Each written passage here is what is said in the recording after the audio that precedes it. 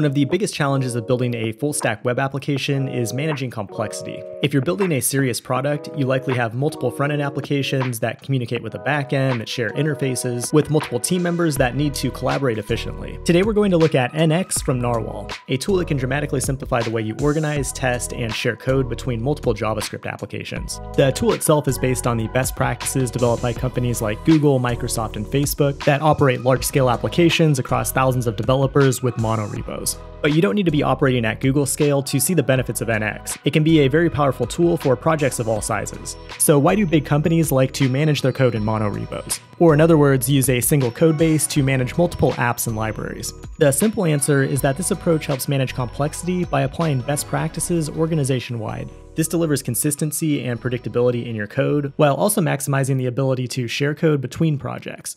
But you can't just put all of your code in a single repo and expect to reap the benefits. You need the right tooling in place to test, build, and deploy your apps at scale, and that's where NX comes in. Over the next 10 minutes, we'll look at how complexity can grow very quickly in a full stack project. We'll build two front end React applications along with a shared Node backend using Express. On top of that, we'll add multiple shared libraries that can be used by all three of these apps.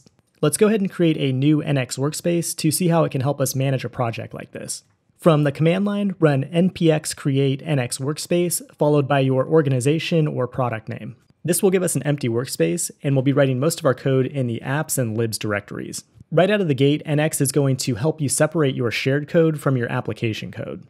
For example, you might have two front end applications, one for your customers and one for your employees. Those apps would live in the apps directory, but they might share common UI elements that would go in the libs directory. So this works really well when you have a design system where you share common UI elements across multiple apps but you might also have a backend app that gets deployed to a node server. And if you're using TypeScript, you'll likely want to share interfaces between your front end and backend code without having to duplicate and regenerate that code. Those interfaces can also live in the libs directory and be used reliably throughout a large application. Let's go ahead and imagine that we're building a product for a travel company, and we have a team of React engineers assigned to the front end customer facing web application. In NX, we can opt into framework specific tooling, so we'll go ahead and do that now for React. We can install it with npm, then we'll run nxGenerate React application and give it a name of booking. This command will prompt us with a series of questions. We'll go ahead and select styled components, and then we'll select yes to routing to automatically set up React Router.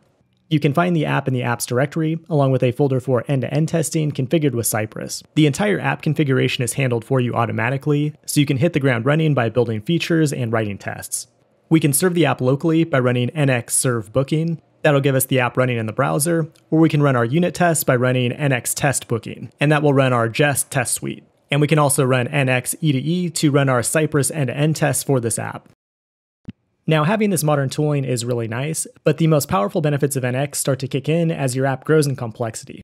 At this point, we just have a single customer facing React app, but let's imagine we have a separate team of developers who are working on an internal admin app for managing customer bookings. But this development team has a different set of opinions and they have no need for React Router. So we'll go ahead and run the same generate app command that we ran earlier, this time giving it a name of admin. And what we'll find is a second app in the apps directory with its own TypeScript configuration and its own set of end to end tests.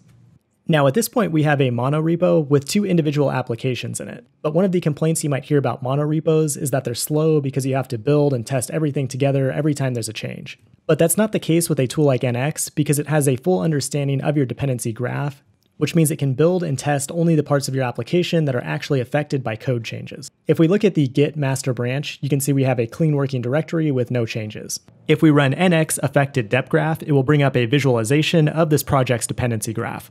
Currently, everything is outlined in black because we're in a clean working directory, so the code is stable and unaffected by change. But if we go into the source code for one of our React apps and make a change, you'll notice that it's now highlighted in red. And because NX knows which apps are affected by change in the current branch, we can test and build those in isolation. And this is what Narwhal means when they talk about developing like Google. Because a company like Google might have thousands of apps under a single monorepo, and the only way to operate them at scale is to understand what apps are affected by change. If you look at the NX CLI commands in the documentation, you'll see a bunch of them that are prefixed by affected. These commands allow teams to work simultaneously on several apps or libraries and be able to build and test them in isolation without having to worry about everything else that's going on in the mono repo. This is especially important when you start talking about code that might affect multiple apps. We can demonstrate that in NX by generating a TypeScript library that will be shared between both front end apps. We'll go ahead and call this our utilities library, and because I use the default schematic, it's just going to generate a vanilla TypeScript project. But you can generate framework-specific libraries as well. Now, another feature I want to point out before we go any further is that you have the option to add tags to your libraries. This part is completely optional, but tags allow you to control which types of apps can take this library as a dependency. For example, you might have a front-end shared library that touches the DOM that you wouldn't want to be used by a Node project.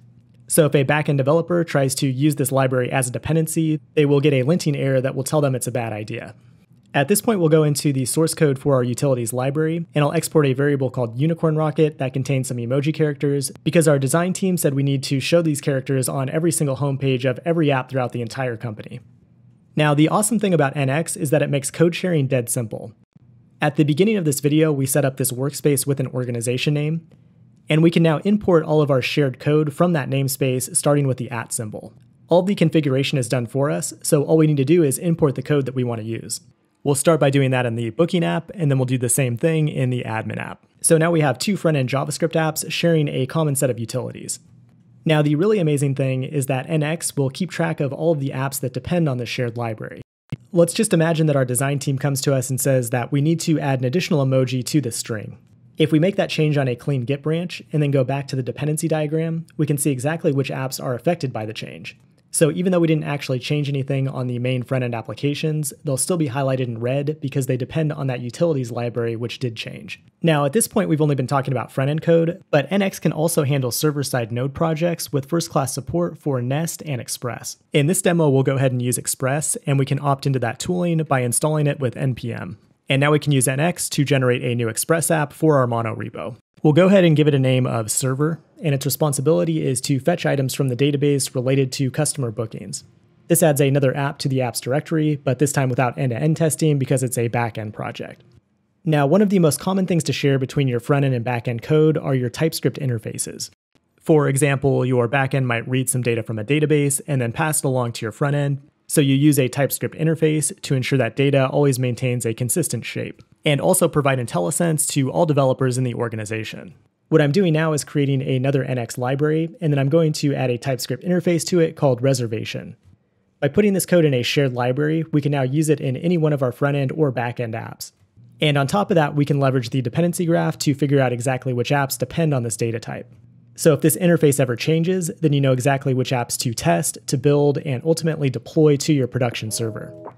So there's a lot of obvious benefits to a tool like NX, things like modern testing tools like Cypress and Jest, a dependency graph that will help you scale a mono repo to an infinitely large team, as well as task runners and code generators to keep your project organized. And the end result is a set of tools that will help you develop like Google, Microsoft, and Facebook, giving your organization a predictable way to operate complex web applications at scale. Check out the full tutorial on nx.dev to learn more.